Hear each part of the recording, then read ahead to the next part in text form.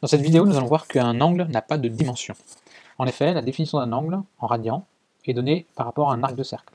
Si on prend un arc de cercle d'angle θ, qu'on note la corde L et le rayon de l'arc de cercle R, on sait que θ est égal à L sur R.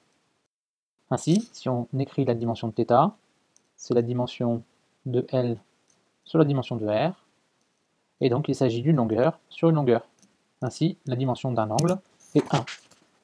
Aussi, Quand on parle par exemple de pulsation, qui s'exprime en radians par seconde, eh bien la dimension d'une pulsation, c'est un temps moins 1, puisque le radian ne doit pas être pris en compte. On peut voir ça grâce à une autre formule, par exemple la formule de fréquence, oméga égale 2πf.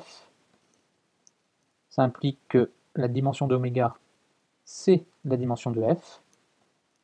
f est une fréquence, et sa dimension, c'est du temps moins 1.